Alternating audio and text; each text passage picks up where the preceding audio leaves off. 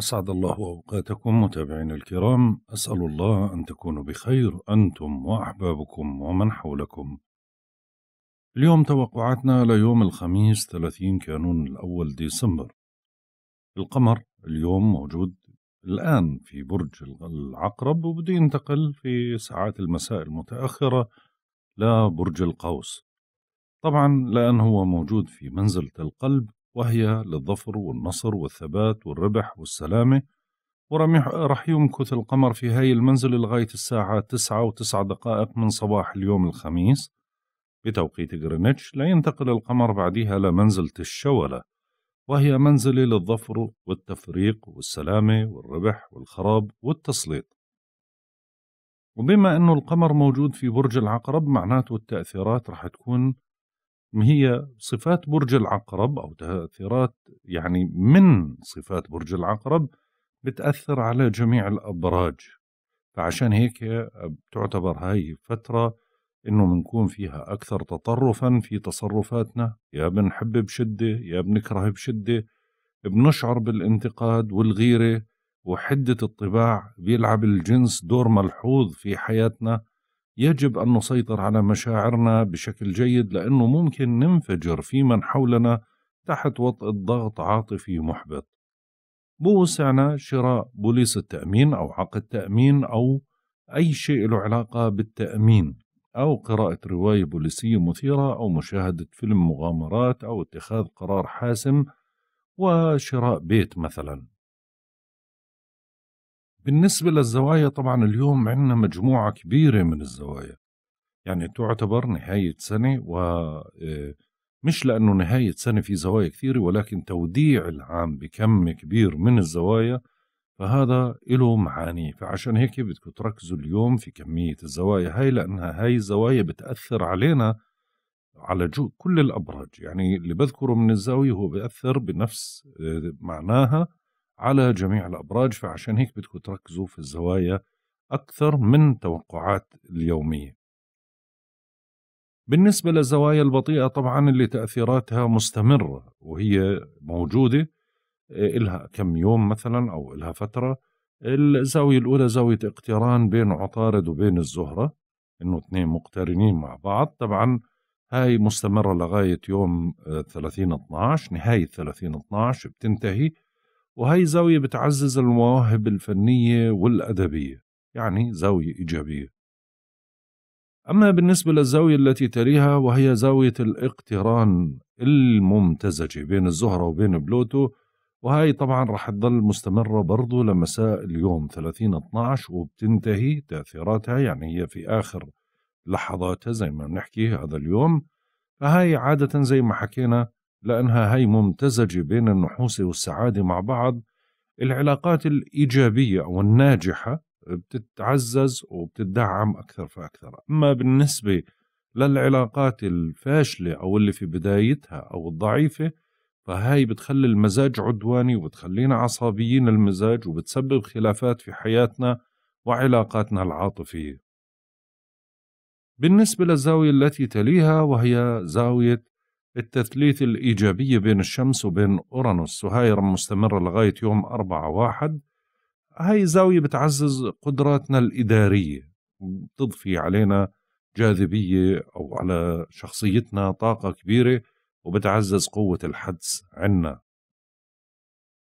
أما بالنسبة للزاوية الأخيرة من الزوايا البطيئة واللي هي هي مستمرة أكثر واللي تأثيراتها إلها فترة طويلة الكل شعر فيها اللي هي زاوية التربيع السلبية بين زحل وبين أورانوس اللي بتخلينا مندفعين في تصرفاتنا ومتمردين على كل القيم والعادات حتى الأبناء بتمردوا على آبائهم بيحاولوا الأشخاص إنه يجدوا شخصية خاصة مستقلة لإلهم بالفترة هاي حتى لو كسروا العادات.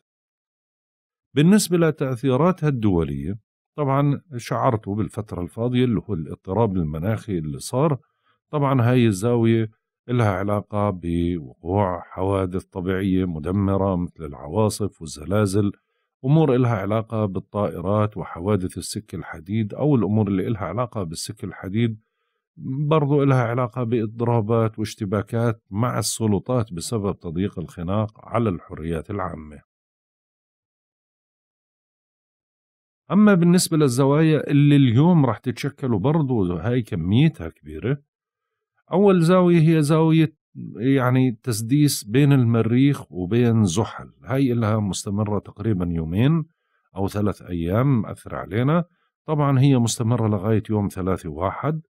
اليوم ذروتها بعد منتصف الليل الساعة 12 و22 دقيقة بعد منتصف الليل بتوقيت جرينتش من موعد بث الحلقة اللي هي ليلة الخميس.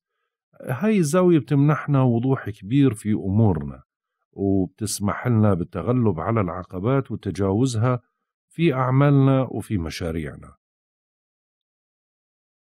أما بالنسبة للزاوية السريعة اللي تأثيرها من ساعات الصباح لساعات المساء هي زاوية بتيجي ما بين القمر وما بين نبتون هي زاوية تثليث إيجابية الساعة سبعة وواحد وخمسين دقيقة صباحا بتعزز الخيال الخصب وبيقوى الحدس وعليه فإنه أكثر المستفيدين هم اللي بيعملوا بمجالات ذات صلة بذلك كالفن والديكور والتجميل.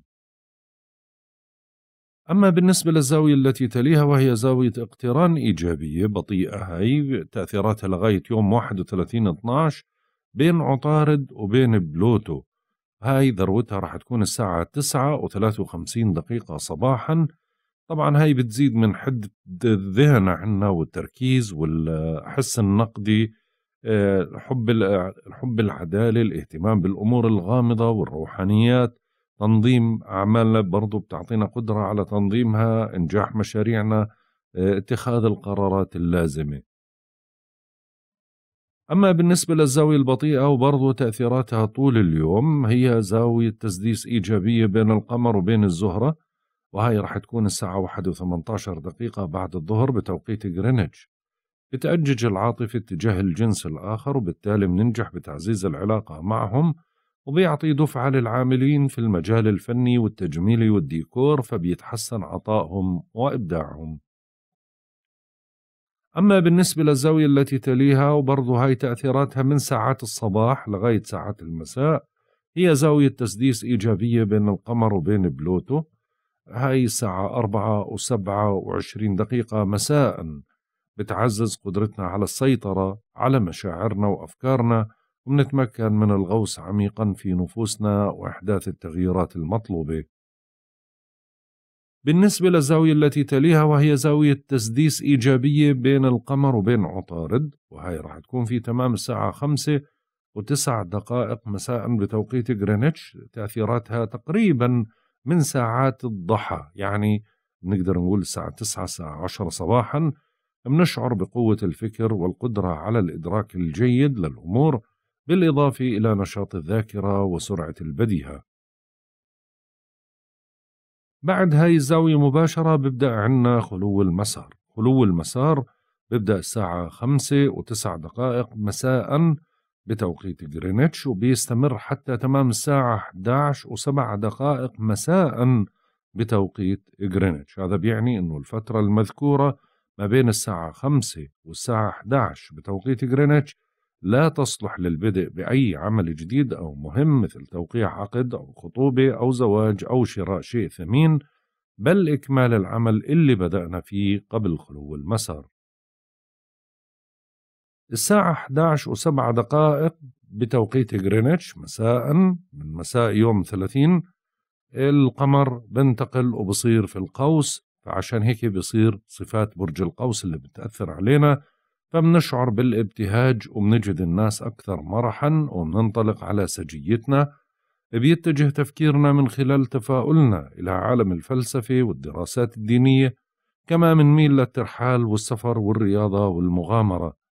بوسعنا اقتراض المال ودراسة لغة جديدة والاستمتاع بهواية ما وتجربة الحظ والتخطيط لرحلة ما أو إجراء مكالمة مع شخص في مكان بعيد. بعد الانتقال مباشرة في عنا زاوية تربيع سلبية بين القمر وبين المشتري وهي تأثيراتها تقريبا من ساعات المغرب أو غروب الشمس. هي زاوية بين زاوية تربيع بين القمر وبين المشتري وهي راح تكون في تمام الساعة 11 و41 دقيقة مساء. بتقولنا أنه يجب أن تتوخوا الحذر ممن يحاول استغلال طيبتكم وكرمكم. بالنسبة للأعضاء اللي في جسمنا الأكثر حساسية واللي لازم نوفر لها عناية إضافية طبعا الأعضاء التناسلية المستقيم الشرج الإحليل الغدد التناسلية المبايض البروستاتا عظم العانة والجينات. مسموح لك تروح تعمل فحوصات لهاي الأمور أو مراجعة الطبيب إذا دعا الأمر لهاي الأمور ولكن بالنسبة للعمليات الجراحية خلال هذا اليوم نقول يعني إذا بتقدر تأجلها بكون أفضل ولكن إذا مجبر على فعل العملية ما في أي مشكلة لأنه اليوم يوصى بإجراء عمليات جراحية غير مناسب لعمليات التجميل مثل الحقن والجراحة. يصلح لإزالة الشعر الزائد ويصلح لقص الشعر التجميلي والصبغ ولا يصلح للقص العلاجي. بالنسبة لمطعوم كورونا طبعا كمان اليوم مناسب بما أنه القمر سعيد موجود فبس مع أخذ حبتين بنادول كل ست ساعات لمدة ثلاث أيام بيكون أفضل على أساس الحرارة وعلى أساس الآلام مكان اللقاح اللي ما تشعروا فيها. بما أنه القمر رح يكون موجود في برج القوس خلو المسار القادم رح يكون يوم السبت واحد واحد آه، بيبدأ في تمام الساعة 8 و15 دقيقة صباحا. وبيستمر حتى تمام الساعة 11 ودقيقة مساء بتوقيت غرينتش. لا ينتقل القمر بعديها لبرج الجدي بالنسبة لعمر القمر عمر القمر انحسار الهلال 25 يوم في تمام الساعة 12 و39 دقيقة منتصف الليل بيصبح 26 يوم نسبة الإضاءة 20% بالنسبة لمزاج الكواكب وطباع الكواكب لهذا اليوم الشمس في الجدي حتى يوم 20 واحد سعيد بنسبة 45% القمر في العقرب بده ينتقل للقوس ورح يمكث في القوس لغاية يوم واحد واحد سعيد بنسبة 45% عطارد في الجدي حتى يوم اثنين واحد سعيد بنسبة سبعين في المية. الزهرة في الجدي بيتراجع حتى يوم تسعة وعشرين واحد سعيد بنسبة صفر. المريخ في القوس حتى يوم أربعة وعشرين واحد سعيد بنسبة ثلاثين في المية. المشتري في الحوت حتى يوم عشرة خمسة سعيد بنسبة خمستاش في المية. سحل في الدلو حتى يوم أربعة ستة منتحس بنسبة عشرة في المية. أورانوس في الثورة بيتراجع حتى يوم 18 واحد منتحس بنسبة 10% نبتون في الحوت حتى يوم 28 ستة سعيد بنسبة 15% بلوتو في الجدي حتى يوم 29 أربعة سعيد بنسبة 15% وصلنا للتوقعات اليومية. برج الحمل. اليوم في فرص لمكسب مالي مصدره شراكة أو تعويض أو قرض أو ميراث أو أمور ديون لإلك بتحصلها ولكن صحتكم أو صحة قريب إلكم بتكون بحاجة للرعاية. ممكن يتغير الوضع لصالحك مع شرط التحلي بالليونة والدبلوماسية في التفاوض. بتضطر لتقديم التنازلات أو تصحيح الأخطاء. أهم إشي إنك تتقبل آراء الآخرين بدون تحفظ. ممكن تنشغل اليوم بمعاملة أو بملف. برج الثور. بينصب تفكيركم حول تدعيم شراكاتكم شراكاتكم سواء المالية أو العاطفية. أهم شيء إنكم تحافظوا على هدوء أعصابكم ونبرة صوتكم. حاول إنك ما تعرض لقائك للفشل. بتحمل هاي الفترة نوع من أنواع التوتر لأنها تعتبر من أكثر أيام الشهر ضغطا لأنه القمر مقابلك تماما. عشان هيك بدك تحاذر من الخصام حاول إنك ما تعاند أحد. اتجنب الخلافات كليا لأنه خصمك في هاي الفترة قوي وطباعك مش هادية. برج الجوزاء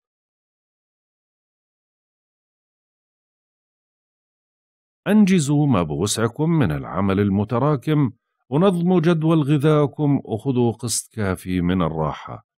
اليوم بترتاح لسير بعض الأمور الروتينية بالرغم من كثافة الأعمال والواجبات المطلوبة منك. بدك تراعي ظروفك الصحية وتعيد, وتعيد ترتيب الأوضاع عشان يعني شوي تتحسن أحوالك. ممكن اليوم يبادر أحد الزملاء أو الأصدقاء بمساعدتك في أمر ما. برج السرطان. بتجتازوا يوم إيجابي جدا وبيبعث على البهجة والانشراح وما بيتخلى الحظ عنكم عاطفيا وماليا. هاي فرصة مناسبة لتحقيق إنجاز أهم إشي إنك تضع مخاوفك جانبا وما تتهرب. الأجواء مناسبة للتلاقي والتعارف والحب والغرام. تعتبر هاي الفترة من أجمل أيام الشهر وأكثرها حظا. برج الأسد.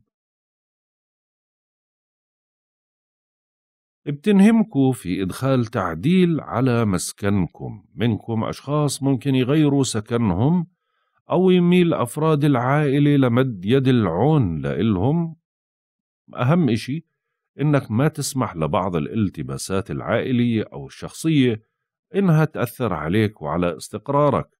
بتنهمك بحل مسائل عائلية أو شخصية وبتبدو قلق وبتتدمر لأقل الإشارات.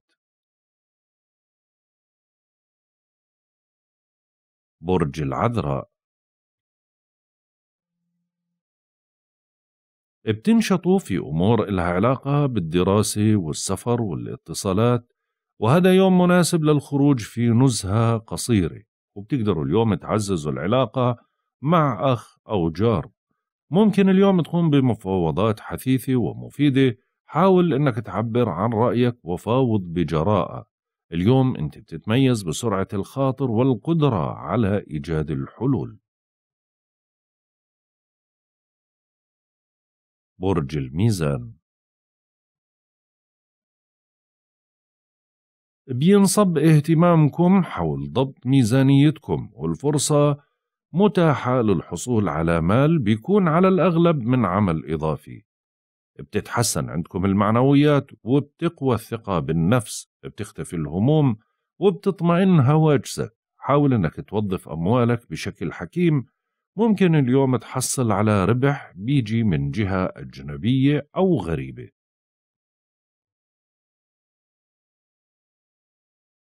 برج العقرب.